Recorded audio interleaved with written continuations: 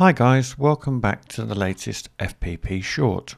In our last video, which I'll link to above, we looked at setting up a static IP on the Ethernet adapter of our Raspberry Pi so that we can stick the whole the Pi and a controller out in the front yard to run an area of our show remotely.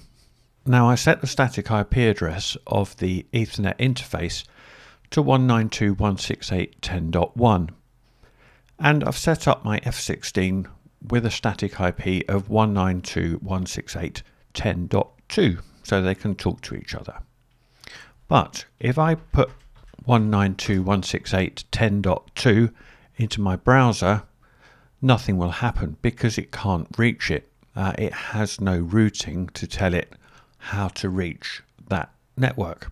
So how do we configure our controller? How do we get xLights to configure our controller if we can't reach it? Well, the simplest answer is called a proxy, and that's what we're going to set up here right now.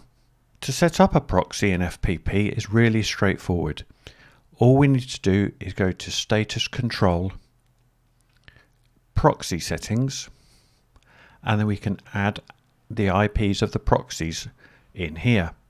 So I just need to add an entry for my controller. There we go, 192.168.10.2 is my F16. I can save that.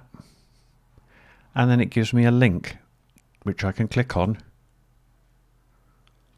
And there is my controller connected via its network interface of 192.168.10.2. If you're in xLights, you can set up, there's a proxy entry about two thirds of the way down the controllers tab, and you can set your proxy up in there as well. Just give it the IP address of your Raspberry Pi that's doing the proxying, and then you can configure your Falcon through xLights via the proxy. I hope you found that useful. As always, take care, have fun, and I'll see you on the next one.